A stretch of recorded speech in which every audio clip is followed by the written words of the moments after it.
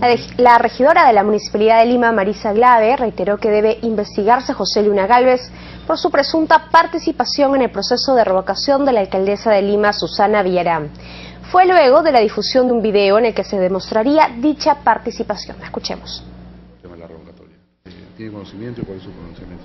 Sí, el día de hoy eh, leí el diario eh, El Comercio y hemos visto también las declaraciones que han salido en ATV hoy día en la mañana. Eh, señalar la verdad la indignación que varios sentimos por eh, lo que ya veníamos diciendo hacía un tiempo, ¿no? Es decir, eh, hay un dinero que ha estado atrás de esta recolección de firmas que no ha quedado claro. Eh, atrás de la recolección de firmas eh, para la revocatoria hubieron un conjunto de actos que nosotros hemos denunciado.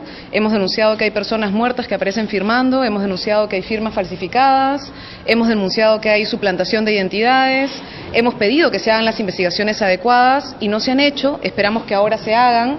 Cuando salió el primer audio que señalaba que eh, este señor Luna que aparentemente sería el financista del señor Marco Tulio y que bueno, también parece ser pues el financista del señor Castañeda, eh, nosotros hemos, pedimos al Congreso que hiciese una acción en la Comisión de Fiscalización, en la Comisión de Ética, eh, porque era importante que el señor actuara con transparencia en tanto congresista. ¿no? Este pedido se hizo en julio, lastimosamente no se logró nada en el, en el Congreso y esperamos que ahora, con este tipo de declaraciones que han salido públicamente a través de otros medios de comunicación, el Congreso pueda también tener algún tipo de reacción frente a la participación del señor Luna. ¿no? ¿Cuáles son las acciones que van a tomar? Como le digo, nosotros presentamos en julio un pedido para que se observara a este congresista. Esperamos que el Congreso tome en cuenta ese pedido y estamos también trabajando con nuestro enlace parlamentario para ver qué tipo de acciones se están haciendo desde allá. ¿no? O sea, recién están eh, analizando jurídicamente lo que van a hacer porque usted menciona que hay firmas falsificadas.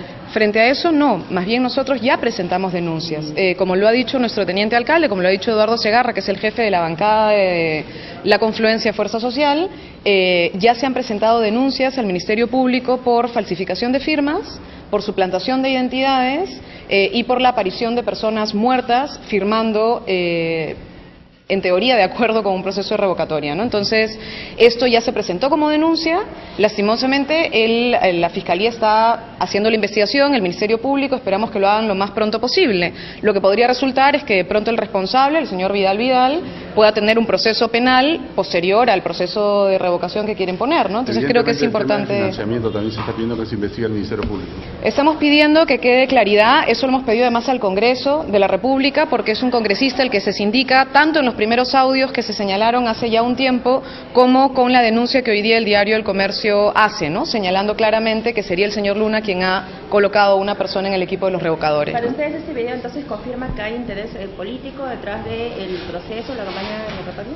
Es evidente que hay intereses oscuros detrás de la revocatoria, lo hemos dicho muchísimas veces, hemos dicho que hay personas que están fastidiadas y molestas con esta gestión porque ha sido una gestión que ha denunciado y ha hecho actos de limpieza en la Municipalidad de Lima.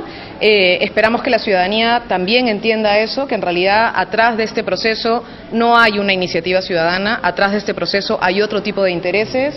Lo que queda claro es que el señor Luna está involucrado y que el señor Luna es parte de la organización del señor Castañeda y tendrá él que en todo caso desmentir si es que no forma parte de una estrategia política formal o si es una iniciativa individual del señor, pero lo cierto es que el señor está vinculado al señor Marco Tulio. Y tomando en cuenta estas denuncias, ¿no debería paralizarse la fecha de la revocatoria? Si estamos hablando de firmas falsas.